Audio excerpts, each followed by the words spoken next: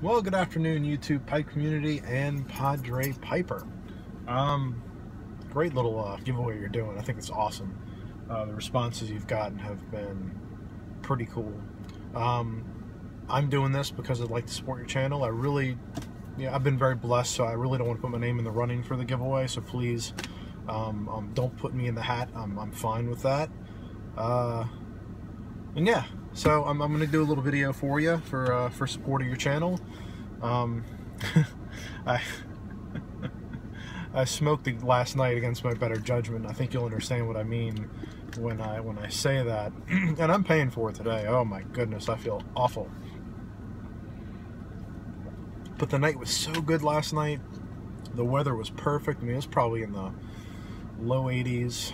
I don't remember. It was just, it was such a gorgeous, gorgeous night. So I smoked a little bit, and I uh, shouldn't have done that. oh well. Well, so your question was, um, what did I want to be when I grew up, uh, when I was a child? Um, I remember in in grammar school, I wanted to be, initially, I wanted to be a uh, an astronomer. Um, I was always fascinated by space and stars and planets and, and galaxies and supernovas and quasars and pulsars and all those fun things. Um, it was always really cool for me to uh, to read science books about space and, and uh, I had the whole Isaac Asimov series. Um, I even watched uh, not Neil uh, Neil deGrasse Tyson's. Um, uh, which one is it? Um, oh crud! I can't remember.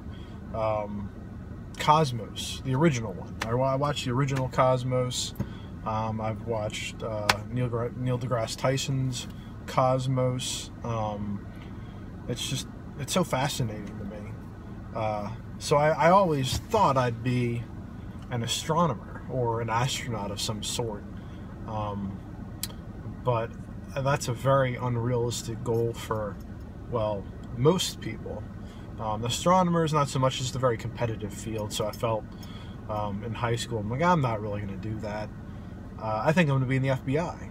I think I'm going to go out for uh, to be an FBI agent. I, I romanticized that role because of the X Files and um, Silence of the Lambs, some some just great great cinema um, that depicted FBI agents as these really cool characters. I mean, in reality, uh, I think it's much uh, less glamorous than it actually is, um, and there's a lot more desk uh, work than they show. Um, so I didn't do that either. Uh, what I turned out to be, of course, uh, currently as a bank teller. Um, I'm a lead teller, so that that means I'm in charge of the vault. I, uh, I, I control all the money. It's all mine. Not really, but it's a heavy responsibility. I, I, don't get you know paid as much as I'd like to get paid, but um, I have a I'm very customer centric. I get to talk with everybody that comes into the bank. Um, so it is a, uh, uh, for me, it's an awkward job because I'm kind of an introvert. Uh, I tend to, at home, I'm very quiet and reserved, and and I like to keep to myself. Um, but at work, I have no choice. I have to be a, uh, um, I have to be a customer service guru. so it's not what I I want to do for my whole life. I think uh, I think my time here is uh, limited. I guess you could call it. Uh, and and I don't know what I want to do when I grow up yet. I have some ideas for the future. Um, we'll just have to see where that takes me. But right now, I'm a bank teller. Um, I still dream of uh, being an astronaut. That would be awesome. But I, I'm not physically mentally or emotionally prepared for that kind of thing. So, um, and if a buddy of mine who's in the Air Force um, can't get in, I really don't have much of a shot. so, but there, there's my, uh, there's my story. I'm sure we'll be talking soon, since, uh, well, I live minutes away, which is awesome. But I'm sure we'll be talking soon more about that, more about my life.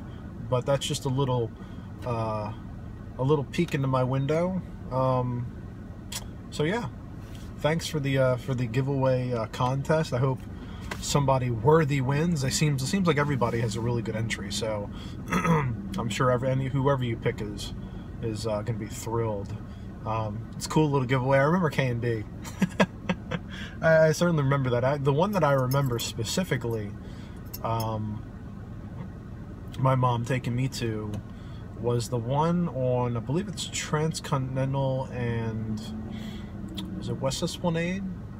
Yeah, by the by the the Robears. There was a I think it's a Rite Aid now. I'm not 100% sure. I haven't been out that way in, in, in, quite a while. I mean, I've been down West Esplanade, but I just I don't look at the stores that often anymore. Um, but I think it's a Rite Aid now, and yeah, I remember that. I remember the K and B well. Purple, purple ink, yes. Um, and that's a fun fact that I didn't know that uh, that uh, K&B was the largest uh, purchaser. No, the Times Picayune was the largest purchaser of purple ink. And I think that's freaking funny. I love that. that's so funny. Uh, but anyway, uh, that's my story, and I guess I'm uh, I guess I'm sticking to it. Uh, anyway, have an awesome day, um, and thanks again. This is awesome.